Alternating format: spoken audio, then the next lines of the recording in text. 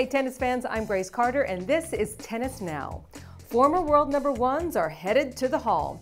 Justine Henin and Marat Safin were trailblazers and will make history now as the first players from their respective nations inducted into the International Tennis Hall of Fame. Uh, for being inducted into the Hall of Fame in Newport, for me it's a big surprise, um, unexpected really. And I want to say thank you for everyone who helped me throughout these years. Something very important in my life today and the fact that uh, yeah, being part of the, the Hall of Fame says that there will remain something of that and it's something uh, a little bit special.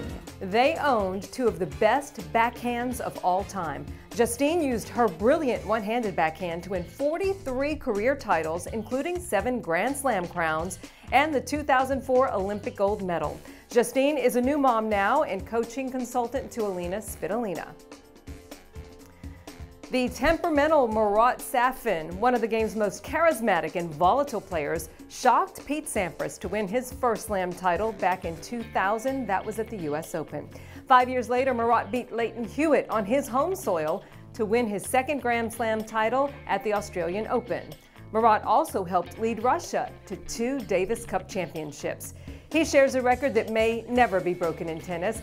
Marat and his sister, Dinara Safina, are the only brother and sister tandem in history to hold the world number one rankings. Marat is now working in the Russian parliament. Two truly tremendous players. We look forward to their induction on July 16th in Newport, Rhode Island. Moving on. Three-time former champion Rafa Nadal hit the stadium in Indian Wells for this practice session. Rafa has not won a hard court title since 2014, and he's admitted it is a new era of aggression in men's tennis. Rafa says that everybody hits the ball very hard and they try to go from winners in any position. He says the game has gotten a little bit crazy. Rafa's return puts his sponsors back in the spotlight as well. He shared a sneak peek of the Nike apparel he's going to be wearing in Indian Wells. Here's a look. Rafa also rolls in with a new commercial for his longtime sponsor, Kia. Ya lo sé, pero como él hay muchos más.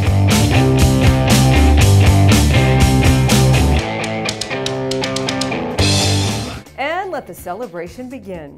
One of the tennis world's most beautiful couples, Flavia Pennetta and Fabio Fognini, have finally set a wedding date. The couple plans to wed on June 11th in Italy, according to a Eurosport report. In a new interview with Italian Vanity Fair, the couple reveal how their friendship blossomed into a love match, and it seems it started with just a kiss on the couch. Flavia says one evening they were on the sofa, everything seemed the same, but after a kiss, things got a little strange, and then they became a couple. The U.S. Open champion says she does not miss playing tennis. Remember, she retired after the end of last season. Flavia also concedes her relationship with former world number one Carlos Moya was not a relationship built to last. You may recall they were engaged years ago. And Flavia says that some of her mates, like Carlos, she really loved them, but she realized they weren't relationships that would last forever. Well, Fabio surprised his sweetie with some flowers to celebrate Flavia's 34th birthday back on February 25th. In other news, Novak Djokovic and Serena Williams shared a dance at the Wimbledon Ball last summer. Now they share another honor. Novak and Serena have been nominated for the 2016 Laureus World Sportsman and World Sportswoman of the Year awards. Nole won that prestigious award last year.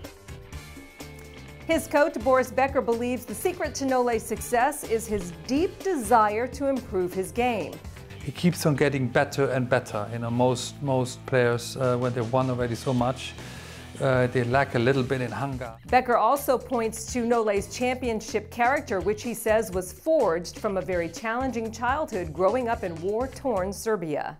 He was not raised with a golden spoon. He's born in uh, in war-torn Serbia. They had to leave their apartment a couple of times because bombs were over their heads. So I mean, imagine imagine that. I think that that defines your life. That defines your character.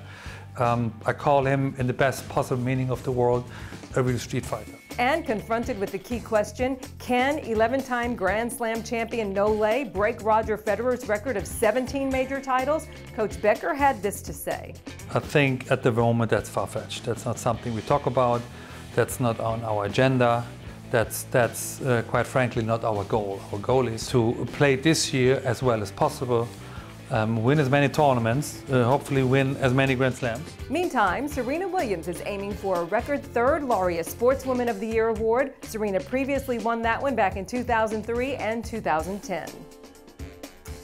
The world number one's performance at the age of 34 has Boris Becker believing that Serena is somewhat of a superhero. Well, I call Serena Williams superwoman. What this lady does on the tennis court is unbelievable. And she's a bit like wine. You know, the older she gets, the better she is. Serena is set to return to action in an exhibition against her BFF, Caroline Wozniacki. That's at Madison Square Garden coming up on Tuesday night. And finally, how do players spend their spare time during Davis Cup week? We're going to leave you now with Jack Sock fronting the Bryan Brothers Band. Gotta love it decoration. You mistaken my love, I brought for you for foundation. All that I wanted from you was to give me something that I never had. That's our news for now. I'm Grace Carter. See you next time here on Tennis Now.